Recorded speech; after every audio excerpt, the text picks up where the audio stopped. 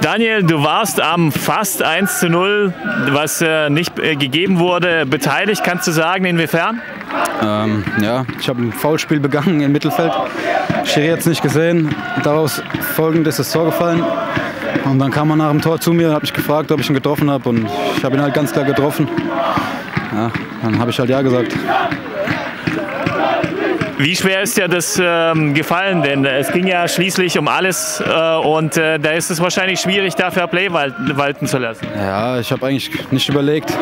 Ich habe halt direkt gesagt, wie es war. Er hat mich gefragt, er kriegt eine ehrliche Antwort von mir. Es geht halt Fair Play mal vor in dem Moment.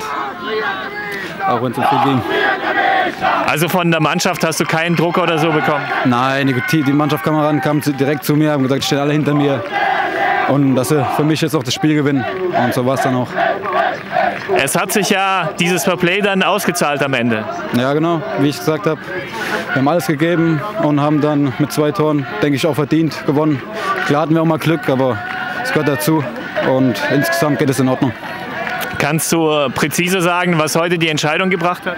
Der Wille, der Kampf, es war ein 50-50-Spiel, Gegner war stark, hat uns alles abverlangt. Aber wir waren da, wo es darauf angekommen ist und äh, haben zugeschlagen und dann haben wir mit 2-0 gewonnen. Was geht in dir vor? Nix, Freude.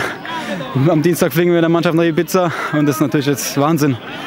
Jetzt gehen wir heute auch ordentlich feiern im Clubhaus. Freude pur. Und dann arbeiten wir schon wieder in der Vorbereitung an nächster Saison Verbandsliga. Du hast die nächste Saison angesprochen. Was kann man da erwarten? Kannst du uns einen kleinen Ausblick geben, persönlich und was die Mannschaft angeht?